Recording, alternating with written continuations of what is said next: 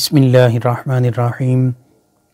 السلام علیکم ناظرین و سامعین کرام۔ پروگرام یاد الہی میں روزانہ عظیم ہستیوں کے تذکار پاک کیے جاتے ہیں اور اس کے ساتھ ساتھ کچھ ایسے موضوعات پر گفتگو بھی ہوتی ہے جن سے آپ کو رہنمائی حاصل ہوتی ہے۔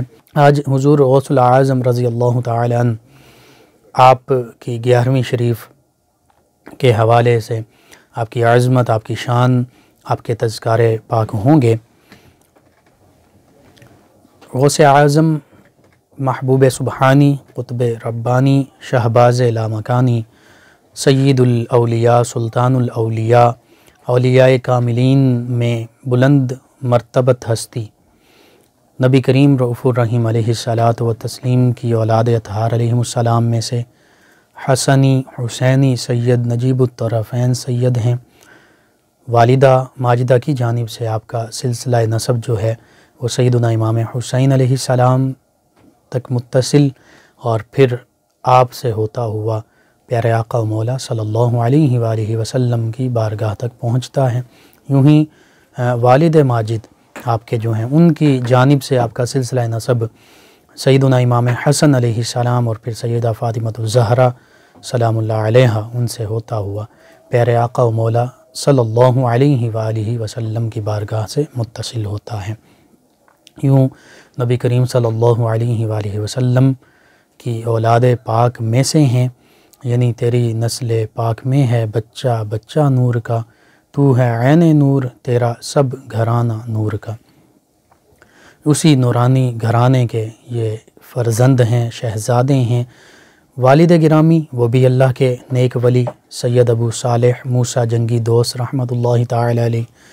اسی طرح دادا جان سیدنا عبداللہ۔ وہ بھی اللہ سبحانہ و تعالی کے ولی ہیں، سیدنا عبداللہ جیلانی یا جیلی بھی انہیں کہتے ہیں۔ اور نانا جان، سیدنا عبداللہ سومعی رحمۃ اللہ تعالی علیہ، وہ بھی اللہ سبحانہ و تعالی کے نیک ولی۔ اور والدہ ماجدہ آپ کی، وہ بھی اللہ سبحانہ و تعالی کی ولیہ عبادت گزار۔ اور نام ان کا ہے سیدہ احمد الجبار ام الخیر سیدہ فاطمہ رحمۃ اللہ تعالی علیہ تو یہ گھرانہ یعنی والدہ بھی اللہ کی نیک ولیہ ہیں، نانا جان بھی اللہ کے ولی ہیں، اور والد گرامی سیدنا ابو صالح موسیٰ جنگی دوست رحمۃ اللہ تعالی علیہ، وہ بھی اللہ کے ولی۔ اور اسی طرح دادا جان پر دادا جان، حتیٰ کہ سیدنا امام حسن علیہ السلام تک سبھی یہ اولیاء کاملین کا ایک سلسلہ اور سیدنا امام حسن علیہ السلام تو خود اہل بیت تھار علیہ السلام میں وہ ہستی ہیں کہ جنہیں صحابیت کا شرف بھی حاصل ہے۔ نبی کریم روف الرحیم علیہ صلاۃ و تسلیم کی زیارت سے بھی بہراور ہوئے۔ اور نبی کریم روف الرحیم علیہ صلاۃ و تسلیم کی آغوش مبارکہ میں تربیت پائی۔ کبھی پیارے آقا و مولا صلی اللہ علیہ وآلہ وسلم کے دوش مبارکہ پر سواری کرتے۔ کبھی نبی کریم روف الرحیم علیہ صلاۃ و تسلیم کے قدمین، شریفین، طیبین، طاہرین پر بھی کھڑے ہو جاتے، یہ آپ کے بچپن اور تربیت اور نبی کریم رف الرحیم علیہ صلاۃ و تسلیم کے ساتھ آپ کی محبت اور آپ صلی اللہ علیہ وآلہ وسلم کی سید امام حسن علیہ السلام سے محبت کا عالم۔ یوں ہی والدہ ماجدہ کی جانب سے جب ہم سلسلہ نصب دیکھتے ہیں تو سید امام حسین علیہ السلام وہ ہستی کہ جو اہل بیت اتحار علیہ السلام میں بھی شامل اور جنہیں نبی کریم رعف الرحیم علیہ صلاۃ و تسلیم کی صحابیت کا بلند مقام بھی اللہ سبحانہ و تعالی نے عطا فرمایا اور یہ بھی وہ شہزادے ہیں سید امام حسین علیہ السلام کہ جن کو پیارے آقا مولا صلی اللہ علیہ وآلہ وسلم خود اپنے اوپر سواری بھی کروایا کرتے، جن کو انگلی سے پکڑ کر چلنا بھی سکھایا، اپنے قدمین تو یہ پر بھی سوار کیا، حتیٰ کہ اپنے سینہ مقدسہ سے بھی لپٹایا، یہ وہ ہستی ہیں۔ حتیٰ کہ تحنیک گھٹی خود پیارے آقا مولا صلی اللہ علیہ وآلہ وسلم نے اپنے شہزادوں کو دی، سیدنا امام حسن حسین علیہ السلام کو۔ پھر آزان پڑھی گئی، حتیٰ کہ عقیقہ کیا گیا۔ تو سارے معاملات، سارا بچپن نبی کریم رعف الرحیم علیہ صلاۃ و تسلیم ہی کی زیر نگرانی گزرا۔ پروردہ نبوت ہستیاں پھر انہی کی اولاد اطہار علیہ السلام میں سے حضور غوث اعظم رضی اللہ تعالی عنہ حسنی حسینی سید ہیں۔ آپ کا علمی مقام بہت بلند۔ اگر قرآن مجید فرقان حمید کے علم کے حوالے سے دیکھا جائے تو اٹھارہ پارے تو چونکہ آپ نے والدہ ماجدہ ہی کے بطن میں جب آپ ابھی شکم مادر میں تھے تو تلاوہ سنتے تو آپ کو یاد تھے، حفظ کر لیے۔ اسی طرح یہاں تک بھی آپ کی کرامات میں، چونکہ آپ وہبی ولی ہیں، پیدائشی ولی ہیں مادر زاد ولی ہیں، اور اولیاء کرام رحمہ اللہ علیہ مجمعین اہل بیت اطہار علیہ السلام کے گھرانے سے نسبت ہیں۔ تو آپ کی والدہ ماجدہ فرماتی ہیں کہ میں، مجھے اگر چھینک آتی، میں الحمدللہ کہتی، تو مجھے یرحمک اللہ کی آواز بھی آتی۔ یعنی اللہ سبحانہ و تعالی نے شکم مادر میں ہی آپ کو ولایت سے سرفراز فرمایا۔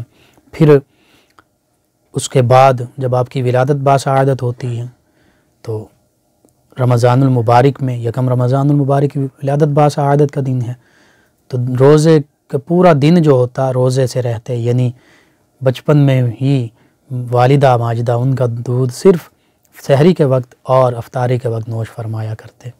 حتیٰ کہ اگلے سال جب بادل چھا گئے، مسئلہ بنا۔ رمضان المبارک کا پتہ نہیں چل رہا تھا کہ آج پہلا روزہ ہے یا نہیں۔ تو اسی گھرانے سے تصدیق ہوئی۔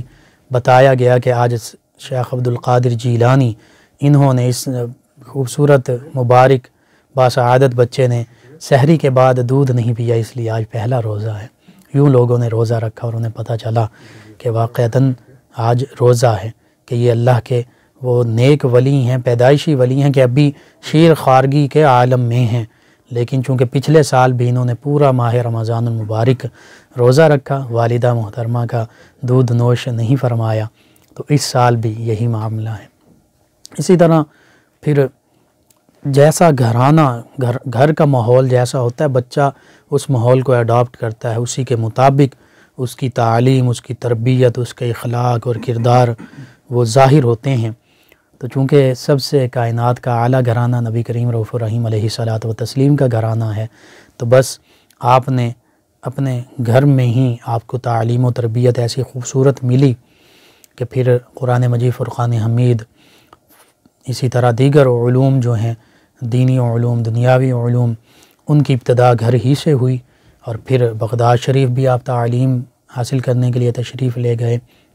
تو یہ حضور غوث العظم رضی اللہ تعالی عنہ کہ بچپن کے معاملات ایسے ہیں کہ بچپن میں ہی کرامات کا ظہور ہونا شروع ہو گیا اور بچپن ہی سے اللہ سبحانہ و تعالی کی طرف سے آپ پر عنایات کا بھی نزول ہوتا، حتیٰ کہ جب آپ کسی مجلس میں، محفل میں بچوں کے پاس سے بھی گزر رہے ہوتے تو آواز آتی، غیب سے یہ آواز آتی کہ ان کے لیے جگہ چھوڑ دو، اللہ کے ولی آ رہے ہیں۔ یہ عظمت، یہ شان اللہ سبحانہ و تعالی نے اپنے ان برگزیدہ بندے یعنی سیدنا غوث اعظم رضی اللہ عنہ کو عطا فرمائی۔ جی ناظرین و سامعین کرام سیدنا غوث العظم رضی اللہ تعالی عنہ آپ کے تذکار پاک ہو رہے ہیں۔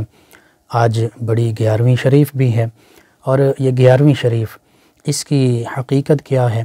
حضور غوث اعظم رضی اللہ تعالی عنہ خود اپنی ظاہری حیات میں ہر گیارہویں کے دن یعنی اسلامی مہینے کی گیارہ تاریخ کو نبی کریم روف الرحیم علیہ صلاۃ و تسلیم کی یاد میں آپ کے سیرت، آپ کے کردار آپ کے اعلیٰ و صاف جو ہیں، ان کے بارے میں گفتگو بھی فرمایا کرتے، اس کے علاوہ لوگوں کو اس دن خاص طور پر، اس کے علاوہ بھی آپ مہمان نوازی فرماتے، لیکن خصوصاً اس دن لوگوں میں کھانا جو ہے، وہ تقسیم کیا جاتا اور لوگوں کی جو ہے مختلف طریقوں سے خدمات کی جاتی حتیٰ کہ آپ کی خانقاہ میں عام طور پر بھی لوگ مسافر خاص طور پر ٹھہرا کرتے، لیکن اس گیارہویں تاریخ کے دن خاص طور پر یہ منادی ہوتی ہے اعلان ہوتا کہ سبھی لوگ ضرور آئیں اور کھانا بھی کھائیں اور مہمان نوازی سے ان کو نوازا جاتا۔ تو حضور غوث اعظم رضی اللہ عنہ کا یہ معمول رہا۔ اسی وجہ سے یہ گیارہویں شریف کے طور پر مشہور ہو گیا، چونکہ پھر مسلمان بھی پوری دنیا میں ہر ماہ کی گیارہ تاریخ کو اصال ثواب، کھانا، اس طرح کا انتظام کرتے ہیں۔ اور چونکہ ربیع الثانی، یہ سیدنا غوث اعظم رضی اللہ عنہ آپ کے وصال کا بھی مہینہ ہے۔ اسی میں آپ کا عرس جو ہے وہ بغداد شریف میں بھی ہوتا ہے اور گیارہ ربیع الثانی ہی کے دن منعقد ہوتا ہے۔ تو اس وجہ سے ربیع الثانی کی جو گیارہ تاریخ ہے، اس کو بڑی گیارہویں شریف کا نام دیا جاتا ہے۔ مقصود صرف یہ ہوتا ہے کہ اس دن اس دن کے علاوہ بھی، لیکن خصوصاً اس دن سبھی لوگ اکٹھے ہوتے ہیں۔ قرآن مجید فرقان حمید کی تلاوت کی جاتی ہے۔ نبی کریم رعف الرحیم علیہ صلاۃ و تسلیم کی بارگاہ میں ہدیہ عقیدت گلہ عقیدت پیش کیا جاتا ہے، ثنا خوانی ہوتی ہے۔ اسی طرح اخلاق حسنہ اور دیگر جو معاملات ہیں، ان پر تربیتی جو نشستیں بھی ہوتی ہیں، بعض اوقات گفتگو بھی ہوتی ہے۔ یعنی دین اسلام جو ہے، اس کے علوم سے، اس کی تعلیمات سے آشنا کیا جاتا ہے۔ نبی کریم رعف الرحیم علیہ صلاۃ و تسلیم کی مدح سرائی ہوتی ہے۔ اور پھر دعا وغیرہ ہوتی ہے، اس کے بعد پھر کھانے کا انتظام ہوتا ہے۔ مہمان بھی موجود ہوتے ہیں، جو بھی لوگ ہوں، حتیٰ کہ غربا فقارا مساکین ضرورت مند بھی ان، اس کھانے سے بھی، اس لنگر سے بھی، لنگر غوثیہ بھی کہا جاتا ہے، اس سے بہرہ ور ہوتے ہیں۔ حضور غوث اعظم رضی اللہ عنہ آپ کی شخصیت کے کئی نمایاں پہلو ہیں۔ پیدائشی ولی، مادرزاد ولی، کرامات کا ظہور، یہ بھی ایک آپ کا زندگی کا ایک نمایاں پہلو۔ اسی طرح علم، قرآن مجید، فرقان حمید کے علوم کے بہرے ذخار تھے آپ، سمندر تھے۔ آپ سے کئی بڑے بڑے علماء فقہا نے علم حاصل کیا۔ تفسیر بیان فرماتے تو چالیس چالیس تک ایک ایک آیت کی تفسیر بیان فرماتے تھے۔ بڑے بڑے جو مفسر، محدث وہاں بیٹھے ہوتے امام عبد الرحمن ابن جوزی رحمۃ اللہ تعالی علیہ جیسا محدث، وہ بھی کہتا ہے، پکار اٹھتا ہے کہ بس مجھے گیارہ تفسیریں آتی ہیں، اس سے آگے مجھے بھی نہیں معلوم۔ اسی طرح حدیث مبارکہ کا درس دیتے ہیں تو نبی کریم رف الرحیم علیہ صلاۃ و تسلیم کی احادیث مبارکہ آپ کے فرامین مبارکہ سے لوگوں کے دلوں کو منور فرماتے جاتے ہیں۔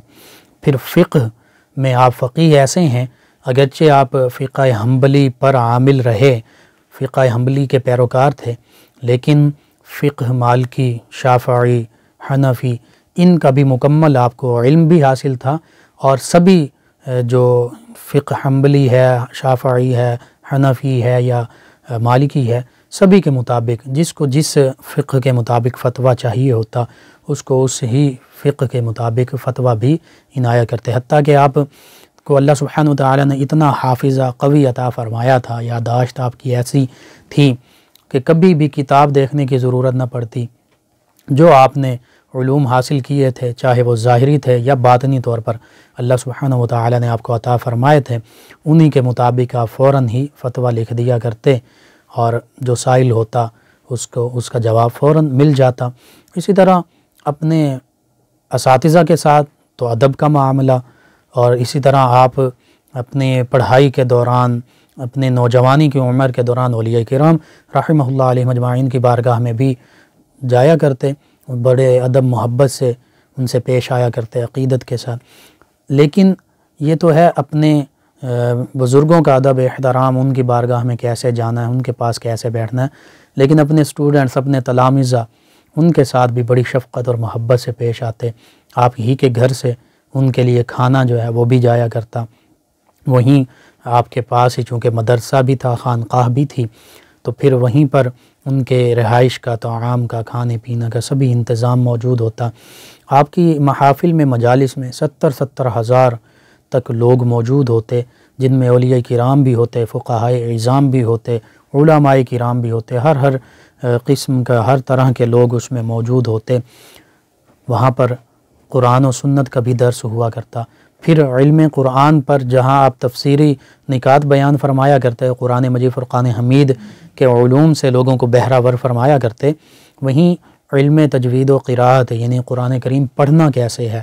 عربی مخارج کے مطابق بالکل عربی زبان اور لہجے اور مخارج کے مطابق، جیسے پیارے آقا مولا صلی اللہ علیہ وآلہ وسلم نے بھی فرمایا زین القرآن ابی اسواتکم کہ قرآن مجید فرقان حمید کو جو صحیح عربی پڑھنے، قرآن پاک پڑھنے کا طریقہ ہے، اس کے مطابق اپنے آوازوں سے مزین کیا کرو۔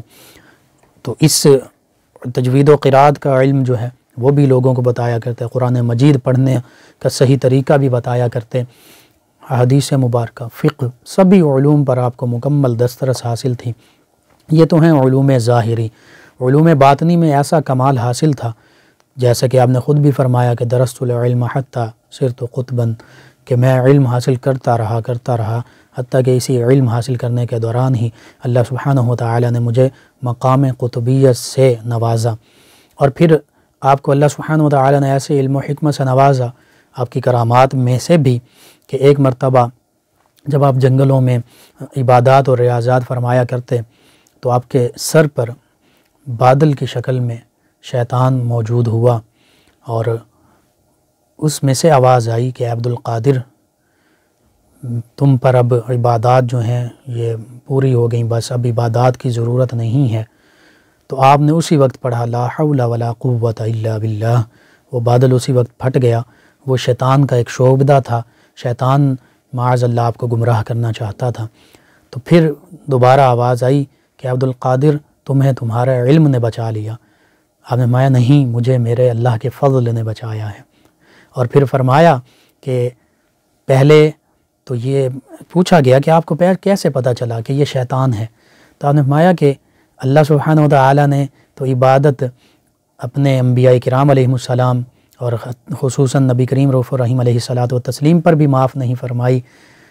تو میں مجھ سے عبادت کیسے معاف ہو سکتی ہے؟ اس لیے مجھے پتہ چل گیا کہ یہ شیطان ہے جو اپنی چال اور اپنا وار کر رہا ہے اور میں نے پڑھا لا حول ولا قوت الا باللہ۔ اور ساتھ ہی فرمایا کہ اس نے پھر مجھ پر دوسرا وار کیا اور وہ یہ کہ کہنے لگا کہ عبد القادر تجھے تیرے علم نے بچا لیا۔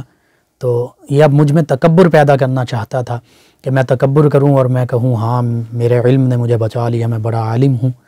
تو اس وجہ سے تکبر جو ہے یہ بھی بہت بڑا گناہ ہے۔ حتیٰ کہ حدیث مبارکہ کے مطابق اللہ سبحانہ و تعالی کے فرمان کے مطابق حدیث مبارکہ میں جو حدیث قدسیہ میں آتا ہے، اس کے مطابق اللہ سبحانہ و تعالی کی چادر ہے تکبر۔ اللہ فرماتا ہے، جو تکبر کرتا ہے وہ میری عزت ہے، یہ میری چادر ہے، وہ میری عزت کو چادر کو ہاتھ ڈالتا ہے۔ تو اس لیے تکبر بہت بڑا گناہ اللہ سبحانہ و تعالی نے آپ کو علم کے تکبر سے بھی محفوظ رکھا۔ یوں ہی آپ کی دیگر کئی کرامات ہیں۔ آپ کے پاس جو لوگ بھی پریشانی کے عالم میں آتے، ایسا بھی ایک شخص آیا کہ جس کی بیٹی کو جنات نے اٹھا لیا تھا۔ تو آپ نے اس کو فرمایا کہ فلاں جگہ پہنچو، وہاں ندا دینا، جنات آئیں گے، ان سے کہہ دینا کہ شیخ عبد القادر جیلانی کہتے ہیں کہ میری بیٹی کو واپس لا دو۔ وہ بزرگ، وہ شخص وہاں پہنچا اور وہاں جا کر ایسے ہی ندا کی، تو جنات کا سردار وہاں حاضر ہوا۔ اس نے بتایا کہ مجھے غوث پاک رضی اللہ عنہ انہوں نے بھیجا ہے، تو اس نے کہا کہ بالکل ہم انسان اور جنات ان پر اللہ سبحانہ و تعالیٰ کے حکم کے مطابق ان کی اتباع ہم پر ضروری ہے، ہم انہی کے تابع ہیں۔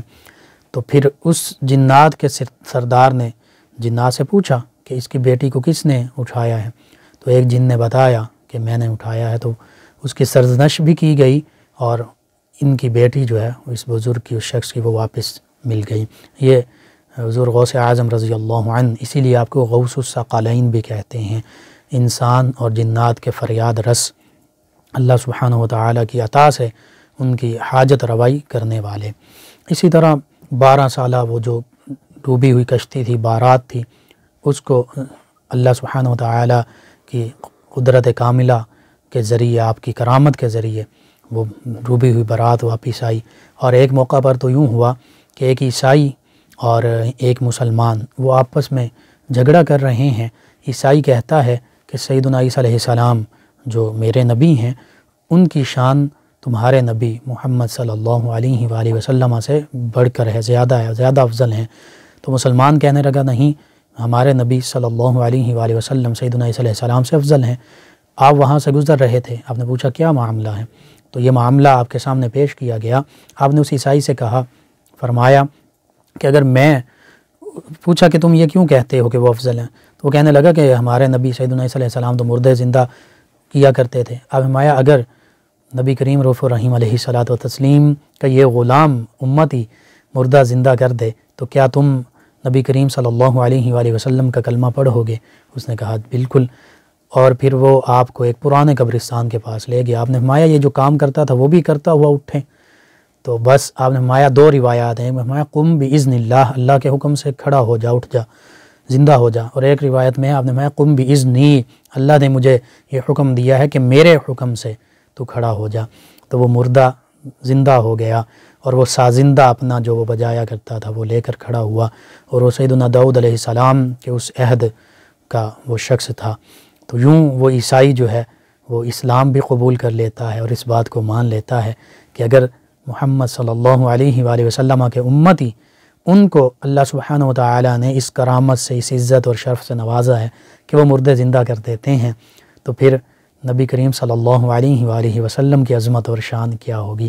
یہ سیدنا غوث اعظم رضی اللہ عنہ آپ کی کرامات اللہ سبحانہ و تعالی کی طرف سے جن سے آپ کو نوازا گیا ان میں سے چند ایک جو ہیں ان کے آپ کے سامنے پیش کی ہیں۔ یا حبیبی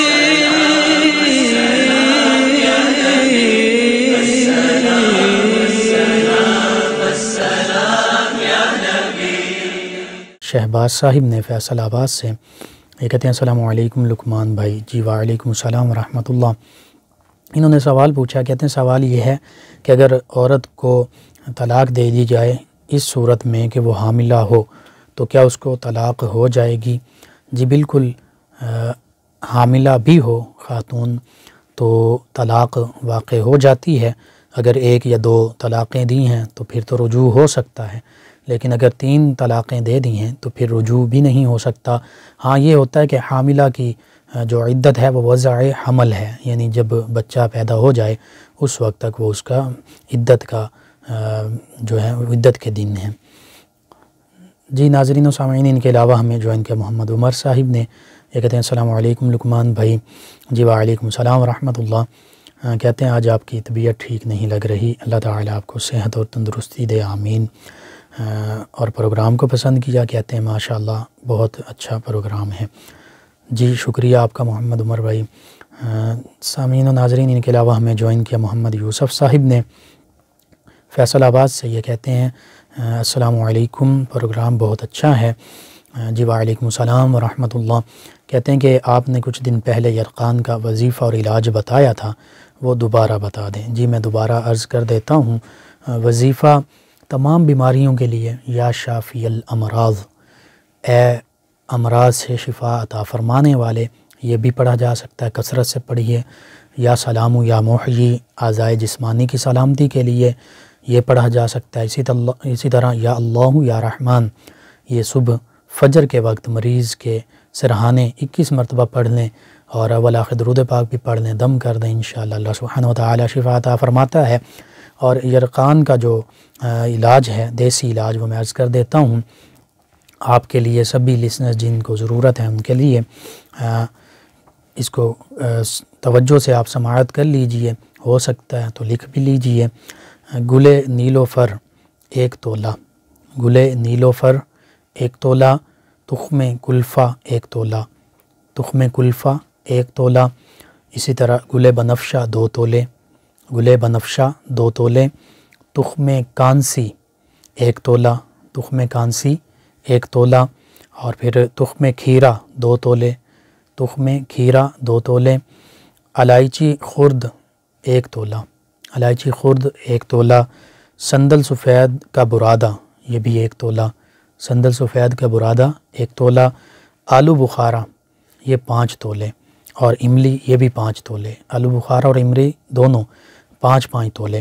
ان سب کو لے کر مکس کریں اور تین کلو پانی میں ان کو ڈال لیں اس تین کلو پانی کو جس میں یہ آپ نے مکس کیے ہیں، ڈالے ہیں ان کو اس کو ابال لیں۔ جب پانی آدھا رہ جائے یعنی تقریباً ڈیڑھ کلو رہ جائے تو اس وقت اس میں چینی بھی ڈال لیں اور یہ ایک مزیدار شربت بن جائے گا۔ تو اس کو پانی میں ڈال کر یرکان کے مریض کو پلائیں، انشاءاللہ اللہ سبحانہ و تعالی شفا عطا فرمائے گا۔ کم از کم دو یا تین مرتبہ دن میں آپ استعمال کر سکتے ہیں۔ جی ناظرین و سامعین، ان کے علاوہ ہمیں جوائن کیا ہے ہمارے لسنر ہیں اللہ نواز صاحب، یہ کہتے ہیں السلام علیکم جی وعلیکم السلام ورحمۃ اللہ۔ کہتے ہیں ماشاء اللہ پروگرام بہت اچھا ہے۔ اور یہ کہتے ہیں کہ بعض کا جو ہم اصال ثواب کرتے ہیں تو اس میں اس کا اہتمام کیسے ہونا چاہیے؟ جی بالکل، اصل جو اس کا مقصد ہوتا ہے وہ یہ ہوتا ہے کہ قرآن کریم کی تلاوت کر لی جائے، دعا مانگ لی جائے، اپنے جو فوت شدگان ہیں، ان کو اصال ثواب کیا جائے۔ وہ قرآن کریم کی تلاوت کر کے کیا جا سکتا ہے، درود پاک، ذکر، اذکار کر کے، حتیٰ کہ کوئی صدقہ، خیرات کر کے، کھانا کھلا کر، کسی اللہ کے بندے کی کوئی ضرورت، جو ضرورت مند ہے، مستحق ہے، وہ پوری کر کے، حتیٰ کہ وہ حدیث مبارکہ کے تین اعمال کے سوا سارے عمل جو ہیں، سارے اعمال منقطع ہو جاتے ہیں مرنے کے بعد۔ وہ تین اعمال کون سے ہیں؟ ان میں سے ایک نیک اولاد جو مرنے کے بعد اپنے والدین، اپنے رشتہ داروں کے لیے دعائے خیر کرتی رہتی ہے اصال ثواب کا اہتمام کرتی رہتی ہے۔ دوسری چیز جو مرنے کے بعد بھی فائدہ دیتی ہے، جس کا اجر و ثواب ملتا رہتا ہے، وہ ہے صدقہ جاریہ۔ کوئی مسجد بنا دی، کوئی مدرسہ بنا دیا کوئی کنواں کھدوا دیا، کوئی پانی کا نظام بنا دیا۔ یعنی انسان جب تک اس سے فائدہ اٹھاتے رہیں گے، اس وقت تک اس کی قبر میں اس کو اجر و ثواب ملتا رہے گا۔ اور تیسرا ہے، علم نافع، چھوڑ گیا۔ کوئی دینی کتاب لکھ دی، قرآن، حدیث سے متعلقہ علم جو ہے، اس کی اشاعت کر دی یا شاگرد ایسے ہیں، قرآن کریم انہوں نے پڑھایا ہے، عالم دین بنے ہیں، وہ آگے اسلام کی تعلیمات پہنچا رہے ہیں۔ تو جب تک یہ سلسلہ قائم رہے گا، علم نافع کا، صدقہ جاریہ کا یا نیک اولاد موجود ہے، اس وقت تک اور وہ اصال ثواب بھی کرتی ہے، تو اس وقت تک قبر میں فوت شدگان کو اجر و ثواب ملتا رہے گا، حتیٰ کہ ایک حدیث مبارکہ میں حضور نبی کریم روف الرحیم علیہ السلاۃ و تسلیم فرمایا کہ میری امت امت مرحومہ ہے یعنی جس پر رحم کیا گیا اور فرمایا کہ یہ امت گناہوں کے پہاڑ لے کر قبر میں جائے گی، جب قبر سے اٹھیں گے تو اپنے سامنے نیکیوں کے پہاڑ دیکھیں گے، اللہ تعالیٰ کی بارگاہ میں عرض کریں گے، یا اللہ یہ کیا معاملہ ہے؟ تو فرمایا جائے گا کہ جو تمہارے پیچھے اصال ثواب تمہارے لیے دعائے مغفرت وہ بھیجا جاتا رہا۔ یہ وہ سارے نیکیوں کے، وہ نیکیاں ہیں جو تمہاری طرف پہنچائی جاتی رہیں۔ تمہارے لیے اصال ثواب کیا جاتا رہا۔ صدقہ جاریہ، علم نافع، جو بھی نیک اولاد کرتی رہی۔ تو یہ اس بندہ مومن کو انشاءاللہ اس کا اجر و ثواب ضرور ملے گا۔ اب اہتمام میں نے عرض کر دیا، قرآن کریم کی تلاوت ہو، دعائے مغفرت ہو اگر کھانا کھلا سکتے ہیں، اس اتنے اللہ تعالیٰ نے توفیق دی ہے۔ اپنی توفیق کے مطابق جتنا زیادہ سے زیادہ مخلوق کا فائدہ کر سکتے ہیں۔ قرآن کریم کی تلاوت، درود پاک کی کثرت، اسی طرح استغفار پڑھیں زیادہ سے زیادہ۔ تو یہ ذکر اذکار کریں، اس کا ثواب پہنچاتے جائیے۔ جتنا زیادہ سے زیادہ ہو سکتا ہے، اتنا بہتر ہے۔ جی ناظرین و سامعین، ان کے علاوہ ہمیں جوائن کیا مشرف صاحب نے۔ انہوں نے سیدنا غالباً غوث پاک رضی اللہ عنہ کا سلسلہ پوچھنا چاہتے ہیں، لیکن یہ کہتے ہیں کہ سیدنا حسن ان کا سلسلہ کس ہستی سے چلا؟ جی سیدنا امام حسن علیہ السلام کی اگر آپ بات کر رہے ہیں، تو نبی کریم رف الرحیم علیہ صلاۃ و تسلیم کے نواسے ہیں۔ تو نبی کریم صلی اللہ علیہ وآلہ وسلم، سیدنا علی المرتضیٰ کرم اللہ وجہ الکریم اور سیدہ فاطمۃ الزہرہ سلام اللہ علیہ سے ان کا آگے سلسلہ نصب چل رہا ہے۔ اگر غوث پاک رضی اللہ عنہ کی بات کر رہے ہیں تو والد مسن اور والدہ معاہدہ کی طرف سے سیدنا امام حسین علیہ السلام سے سلسلہ نصب آگے آ رہا ہے۔ جی سامعین و ناظرین، ان کے علاوہ ہمیں سوشل میڈیا پہ جوائن کیا امجد منیر صاحب نے، مہنور صاحبہ نے، علیم ظاہر صاحب نے، عبدالرحمن صاحب نے، محمد ابو بکر صاحب نے، ڈاکٹر نور العین خلیل صاحبہ ہیں۔ میاں رمضان صاحب نے ہمیں جوائن کیا، محمد خان صاحب نے جوائن کیا۔ اقسا حفیظ صاحبہ ہیں، غالباً انہوں نے جوائن کیا ولی ظاہر صاحب ہیں اور جواد احمد صاحب نے جوائن کیا اور دیگر ہمارے لسنر میں محمد اسد اللہ صاحب ہیں، محمد فاروق صاحب ہیں، محمد شاہد صاحب ہیں، اعظم رحمانی صاحب ہیں اور علی شان واجد علی صاحب ہیں۔ ان تمام لسنرز کا آپ کا شکریہ۔ آپ نے پروگرام کو پسند کیا اپنے فیڈ بیک سے آگاہ کیا، جن ہمارے لسنرز کے سوالات رہتے ہیں، انشاءاللہ کل پروگرام میں ہم شامل کریں گے۔ یا حبیبی